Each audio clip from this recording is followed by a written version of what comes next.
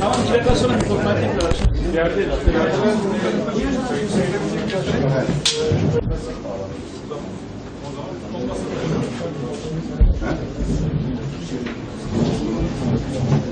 Yok, hayır. Kim? Öyle mi? Tamam 12 buçukta al tamam. 12 buçuk.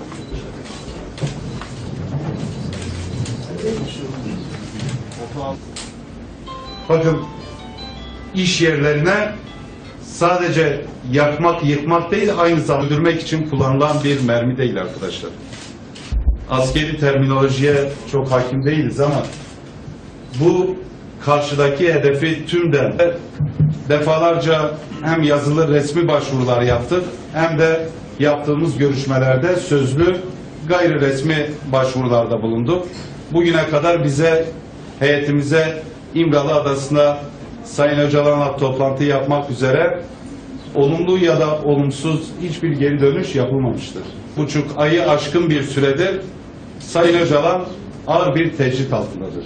Algıyı kırmak için sanki orada rutin bir işleyiş devam ediyor görüntüsü vermek için Sayın Öcalan'la görüştüklerini sürekli basına servis ediyorlar. Biz bu güven ve servis edilen bilgilerin hiçbirinin güvenilir olduğuna inanmıyoruz.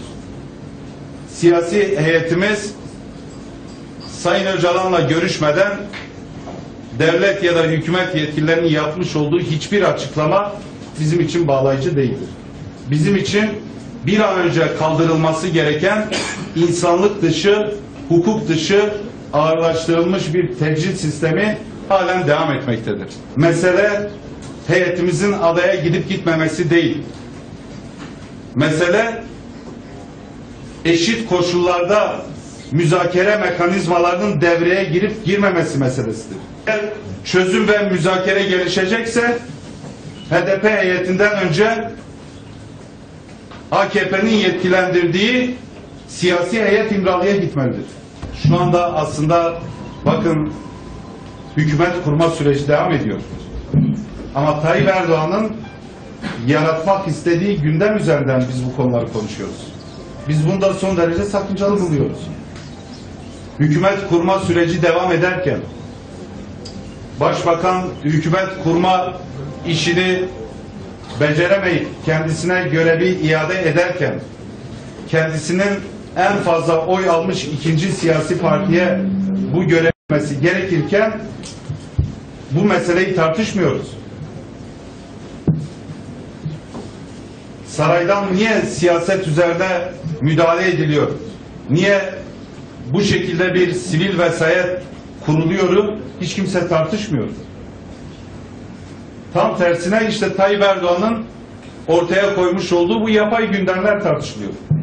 Eğer Türkiye bir hukuk devleti ise bütün yetmezliklerine rağmen hala mevcut yasa ve anayasa yürürlükte ise tartışmamız gereken şey farklı bir şeydir.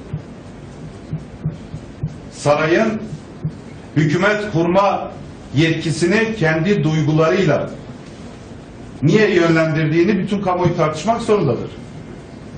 Seçim hükümetinde yer alıp almama, kabinede bakan olup olmamak vesaire gibi konular HDP'nin ya da diğer muhalefet partilerinin çok öncel, öncellediği, çok gündemleştirdiği konular değil. Ama ülkenin demokratik geleceği hepimizin birinci gündemi olmalıdır. Biz yasalarda Beştepe yolunu bilmeyenlere hükümet kurulma görevinin verilmeyeceğine dair herhangi bir maddeyi hatırlamıyoruz. Kurmayla ilgili meseleler tartışılacaksa siyaset kurumu üzerinde darbe anlayışıyla vesayet kurmaya çalışan Cumhurbaşkanının ve saray zihniyetinin mutlaka sorgulanması gerektiği kanaatindeyiz. Süreç her gün bombalanıyor. Yani Cumhurbaşkanının şu anda aslında süreçle ilgili bir yetkisi falan yok. Neye dayanarak bu açıklamayı yapıyor onu da bilmiyoruz. Çözüm süreciyle ilgili muhatap, yürütme, hükümet ve dolayısıyla hükümetin başı olan başbakandır. Başbakan çözüm sürecinin nerede olduğunu ifade edemiyor.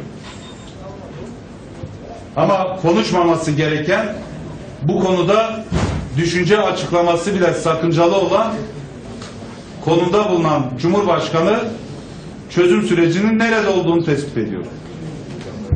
Çözüm süreci şu anda bombalar altında, katliamlar altında, infazlar altında. Bu anlayışla devam ederse geçen gün de belirttim ben. Bu, bu ba- bahsettiği buzdolabı bildiğimiz buzdolabı olarak anlaşılmamalı. Mod buzluğudur bu. Cumhurbaşkanının işaret ettiği zihniyetle bu işler devam ederse işaret ettiği o buzdolabını mor buzluğu olarak görmek gerekecek. O yüzden diyoruz bir an önce bu yaklaşımdan vazgeçilmesi gerekiyor. Bakın bütün Türkiye halkı çatışmasızlık ortamını, ateşkes ortamını istiyor. Partimizde defalarca açıklama yaptı.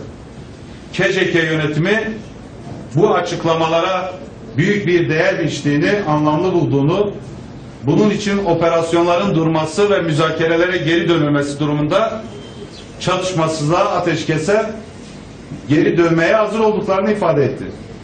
Ama yanıt alamadığımız yer AKP hükümeti ve onun politikalarını belirleyen saraydaki Tayyip Erdoğan'dır. Hepinize teşekkür ediyoruz arkadaşlar. İyi çalışmalar.